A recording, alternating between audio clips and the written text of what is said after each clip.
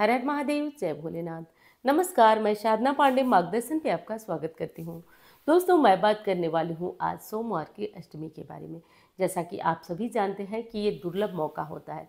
दोस्तों, ये दुर्लभ संयोग हमें इस साल में अधिकतम दो बार, तीन बार या चार बार मिलता है। इससे अधिक नहीं मिलता है।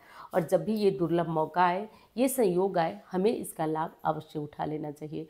तो दोस्तों, ये दुर्लभ संयोग जो है, हमें महाशिवरात्रि से पहले मिल रहा है। ऐसे में शिव भक्तों के लिए बहुत ज़रूरी है कुछ महत्वपूर्ण कार्य कर लेना। क्योंकि दोस्तों, कलयुग है और सभी अपने अपने अनुसार परेशान है, किसी को कोई दिक्कत है, किसी को कोई समस्या है तो क्या और कैसे करना है, इन बातों पे जो है बहुत अधिक ध्यान देना है। जैसा कि सोमवार की अष्टमी के बारे में कहा जाए तो दोस्तों, एक नहीं, दो ग्रंथों में सोमवार की अष्टमी के बारे में बताया गया। एक तो हमारी जो सबसे पवित्र पुस्तक हम जानते हैं शिव पुराण उसमें भी बताया गया है साथ साथ स्कंद पुराण में भी बताया गया है। सोमवार के दिन भगवान वैसे तो महादेव का ही दिन है, चंद्रमा का दिन है, इस दिन इनकी पूजा आराधना की जाती है और विशेष तब बन जाता है जब इस दिन अष्टमी का तिथि पड़ जाए। तो अष्टमी हो और उस दिन सोमवार हो तो उसे सोमवार की अष्टमी कहते हैं और ये दुर्लभ मौका संयोग हमें चार मार्च को मिल रहा है दोस्तों। तो चार मार्च को बहुत ही दुर्लभ संयोग है और जैसा कि आठ मार्च को महाशिवरात्रि है। तो हमें क्या करना है दोस्तों? तो इसके बारे में आज एकदम विधिवत जानेंगे क्या और कैसे करना है। आपको वीडियो पसंद आ रही है तो ज़रूर लाइक करिएगा और चैनल को भी सब्सक्राइब करिएगा दोस्तों। तभी जाकर हमें भी खूब अच्छे से मोटिवेशन मिलता रहेगा कि आप लोगों के लिए बहुत अच्छी और यूज़फुल जानकारियाँ समय पर देते हैं देखिए दोस्तों, सबसे पहली चीज़ कि जो सोमवार के अष्टमी पे पूजन करेंगे, आराधना करेंगे वो ज़रूरी नहीं है कि प्रतिदिन जो आराधना पूजन करते हैं, केवल वही करेंगे। बहुत सारे प्रश्न आते हैं, उसमें ये भी होता है कि हम कभी नहीं जाते तो आज जा सकते हैं। पूजा पाठ में कोई दिन, कोई समय नहीं देखा जाता है, बिल्कुल भी आप जा सकते हैं और मैं तो कहूँगी ज़रूर जाइए। सोमवार को जाना ही चाहिए, लेकिन नहीं जाते हैं तो सोमवार की अष्टमी जैसे प्रदोष, अष्टमी, शिवरात्रि, इन सब पे तो ज़रूर जाना चाहिए। विशेषकर शिव मंदिर और जो शिव मंदिर जाने में असमर्थ है। देखिए शिव मंदिर जाने में यदि असमर्थ है तो आप अपने घर में जो शिवलिंग रखा है आपने वहाँ पे ये सारे उपाय कर सकते हैं। क्योंकि शास्त्रों जो हमारे आ, मैंने अभी बताया आपको जो हमारे धार्मिक ग्रंथ हैं ये बहुत महत्वपूर्ण चीज़ आपको बता रही हूँ। वो बताते हैं कि आपकी फ़ोटो मूर्ति की पूजा लाभप्रद नहीं होती है। वैसे तो होगी, लेकिन उतनी लाभप्रद नहीं होती है, क्योंकि महादेव की पूजा का जो सबसे अधिक फल होता है, वो लिंग पूजन का होता है। और लिंग पूजन चाहे आप घर में करें, पार्थिव करें या फिर मंदिर में जाकर करें। मंदिर की मूर्तियाँ प्राण प्रतिष्ठित होती हैं, इसलिए वहाँ का फ़ायदा ज़्यादा होता है। इसलिए कोई उपाय हो गया, वहाँ करते हैं तो ज़्यादा लाभ होता है, लेकिन आप घर में भी इसे कर सकते हैं। सोमवार की अष्टमी चार तारीख को है। चार तारीख को आप सुबह जल्दी जगेंगे। जगने के बाद आप अपने जो भी काम है वो निपटा लीजिए। ये ध्यान रखिए कि जो पूजा का समय होता है, वो सुबह सुबह होता है। और एक कन्फ्यूज़न और है कि ये अष्टमी कब शुरू हो रही है, कब ख़त्म हो रही है। तो देखिए, सोमवार की अष्टमी तो पड़ रही है चार तारीख को, लेकिन अष्टमी तिथि शुरू हो जा रही है वो तीन तारीख को साढ़े आठ बजे, यानी सॉरी आठ बजकर तीन तारीख को जो है, वो रात को आठ बजकर पैंतालीस मिनट पर अष्टमी तिथि खत्म हो रही है। और वहीं पे चार तारीख को कब तक रहने वाली है अष्टमी? आठ बजकर उनसठ मिनट तक, लगभग नौ बजे तक, सुबह नौ बजे तक चार तारीख को रहने वाली है। ऐसे में सूर्योदय के समय अष्टमी तिथि मिल रही है तो पूरे दिन हम अष्टमी तिथि का जो है सुबह शाम कभी भी पूजन और उपाय कर सकते हैं। ये बात बिल्कुल हमारी स्पष्ट हो गई। अब पहला कौन सा उपाय करना है? दोस्तों, किसी भी काम के लिए, यदि मनोकामना पूर्ति के लिए आप परेशान हैं और वो काम आपका पूरा नहीं हो रहा है, राहु केतु शनि की दिक्कत है, शनि की वजह से बाधा आ रहा है, हर काम आपका नहीं पूरा हो रहा है और एक चीज़ और आप लोग कहते हैं कि ये चीज़ बताइए कि नौकरी कैसे मिलेगी या कैसे कोई जो है हमारा मनोकामना पूरा होगा। तो दोस्तों, खुद के जीवन में बहुत बड़ा अनुभव और आजमाया हुआ उपाय आपको अब बताने जा रही हूँ जिससे कर लीजिएगा। सोमवार की अष्टमी है, कल आप मंदिर जाइए और एक दीपक जला दीजिए। घी का या तिल के तेल का, एक दीपक जला करके शिव मंदिर में बैठकर ग्यारह बार शिव तांडव स्तोत्र का पाठ करिए। वैसे तो इस स्तोत्र का पाठ जब हमें जुबानी याद होता है और तब हम करते हैं, एक अजीब सी भावना हमारे अंदर आती है, एक एक अलग सी ऊर्जा उत्पन्न होती है। ये वो लोग समझ सकते हैं जिन्होंने कभी इस अनुभव को किया होगा। यदि आप शिव मंदिर के सामने बैठ करके और इस पाठ को करते हैं तो आप बैठ करके भले ही इस तरह से करेंगे। आप देखेंगे कुछ ही देर में आपके रीढ़ की हड्डी जो होती है, वो सीधी होना शुरू हो जाता है। यदि विधि विधान से कर दिया जाए तो शरीर में कंपन जैसी स्थितियाँ महसूस होती हैं।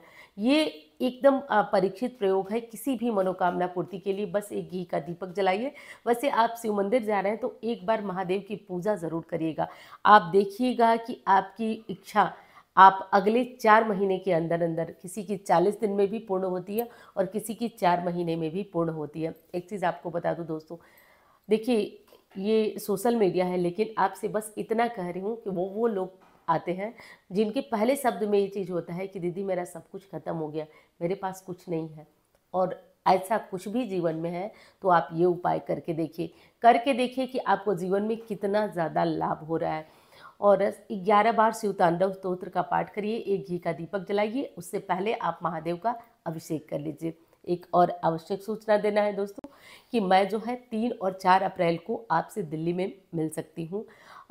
तीन और चार अप्रैल को मैं दिल्ली में रहने वाली हूँ तो जिन लोगों को अपनी किसी भी समस्या के लिए मुझसे मिलना हो तो आप जो है मुझसे मिल सकते हैं। नंबर जो है मैं स्क्रीन पे डाल दूँगी, मेरे डिस्क्रिप्शन में भी नंबर होता है। और दूसरी चीज़ है दोस्तों, कि मैं पाँच, छः और सात तारीख, ये तीन दिन, पाँच, छः और सात तारीख तक आपके साथ लाइव जुड़ूँगी। इसमें कोई आपका पर्सनल क्वेश्चन हुआ, वो भी शामिल कर सकते हैं और बहुत सारी महत्वपूर्ण बातों पे भी चर्चा होगी। तो पाँच छः और सात को आपसे जो है लाइव में जुड़ूँगी। कब? तो साढ़े आठ बजे रात को। अब चलिए दूसरे उपाय की बात कर लेते हैं जो हर कोई अपने जीवन में, आज का उपाय हर कोई कर सकता है अपनी समस्याओं से मुक्ति के लिए। अब जिन लोगों के घर में बहुत ज़्यादा लड़ाई होती है, झगड़ा होता है कलह कलेश होता है, वो क्या करें? कि शिवलिंग के सामने बैठ करके पूरी पूजा इत्यादि ख़त्म करके सुबह शाम कभी भी और वहाँ पे बैठ करके ग्यारह बार हनुमान चालीसा का पाठ करिए। हनुमान चालीसा के पाठ से पहले आप शिवलिंग के सामने एक लोटा जल रख लीजिए। ध्यान रखिए, आपको आश्चर्य लग रहा होगा कि दीदी क्या बता रही हैं? शिवलिंग के सामने बैठकर हनुमान चालीसा का पाठ करा रही हैं। लेकिन ध्यान रखिए, हनुमान जी रुद्रावतार हैं। तो हनुमान जी जो है, उनकी पूजा यानी कि एक ही अंश है, समझ रहे हैं आप? तो आप एक लोटा जल रखिए और ग्यारह बार हनुमान चालीसा का पाठ करिए और महादेव से प्रार्थना करके कि हमारे घर की कलह कलेश खत्म हो जाए और वो जल शिवलिंग पे चढ़ाइए। आप देखेंगे कि चार दिनों में आपके घर में पति पत्नी के बीच, बच्चों के बीच, किसी भी बीच लड़ाई झगड़े खत्म हो जाते हैं। स्पेशली लड़ाई झगड़े के लिए या आप किसी भी मनोकामना पूर्ति के लिए ये सारे उपाय कर सकते हैं। महादेव की कृपा से ये सारे उपाय बहुत अधिक प्रयोग और परीक्षित है। एक चीज़ और आपको बता देती हूँ। दोस्तों, महादेव की कृपा पाने के लिए हम शिव पुराण का पाठ भी करते हैं साथ साथ शिव मंदिर में दीपक जलाते हैं। तो सोमवार की अष्टमी है, आप शाम को चाहे तो अपने घर में शिव पुराण का पाठ कर सकते हैं, शिव सहस्त्र नामावली का पाठ कर सकते हैं। और चलिए, अब ये तो सामान्य चीज़ें हैं, अब मैं बताती हूँ एक विशेष और प्रयोग। दोस्तों, आज के दिन किसी भी बेल वृक्ष के नीचे, यानी कि बेलपत्र का, बेल वृक्ष का जो पौधा होता है, पेड़ होता है पौधा नहीं जिस पे फल आते हैं, उसी के पास ये उपाय करना है। आप घी का पाँच दीपक जला दीजिए।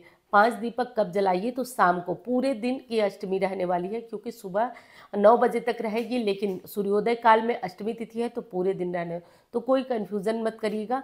और आप जो है, दीपक जला दीजिएगा। दीपक जो है, पाँच घी का आप जलाएँगे। और बेल वृक्ष के नीचे जलाएँगे। आज ध्यान से दोनों हाथों से बेल वृक्ष को स्पर्श करेंगे और महादेव से अपनी कामना कहेंगे। साक्षात कलयुग में जो ये वृक्ष है ना, वो मनोकामनाओं की पूर्ति के लिए और जीवन से कष्टों को दूर करने के लिए।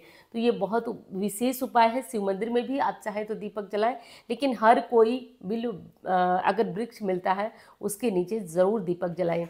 देखिए, कहा जाता है ना कि यदि अपने जीवन में सफलता पाना है तो सबसे पहले हमें खुद को खुद को ये बताना पड़ेगा कि हम ये कर लेंगे। दिक्कत क्या होती है? इतने सारे उपाय मैं बताती हूँ, अक्सर जो है आप लोग उसको करते भी हैं। लेकिन फिर भी कुछ लोगों का प्रश्न रहेगा, हमारी ये समस्या है, उपाय बताइए। आप लोगों से बार बार कहती हूँ कि ये संभव नहीं हो पाता है कि चीज़ों को लिखा जाए। इसलिए कहती हूँ कि कमेंट में क्या लिख के मैं बता पाऊँगी, क्या समझा पाऊँगी। इसलिए ज़रूरी है दोस्तों कि आप भी लाभ चाहते हैं तो चैनल को सब्सक्राइब करिए और लाइक भी मुझे करिए, आपको पसंद आए तो।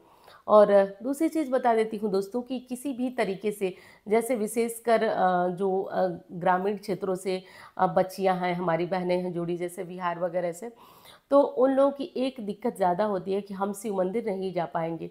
कोई बात नहीं, अगर आपकी भावना बहुत बहुत मज़बूत है, तगड़ी है ना तो घर में ही आपका ये उपाय आपको असर करेगा और बहुत ज़्यादा ये उपाय प्रभावशाली हो जाते हैं। तो ये सभी काम कर लीजिएगा। राहु, केतु, शनि से जुड़ी हुई पीड़ाओं से मुक्ति के लिए, क्योंकि देखिए, शनि की जब पीड़ा आती है ना तो एक समस्या और होती है, सारे काम हमारे विलंबित हो जाते हैं। हमें कुछ समझ में ही नहीं आता कि हम कैसे और क्या। जिन चीज़ों में समय नहीं लगना उसमें भी समय लगने, लग जाता है। तो ये महत्वपूर्ण उपाय है, आप लोग कर लीजिएगा। और चलिए दोस्तों, अब मिलूँगी मैं आपसे किसी अन्य वीडियो में। तब तक के लिए कमेंट बॉक्स में हर हर महादेव लिखना मत भूलिएगा। धन्यवाद, हर हर महादेव।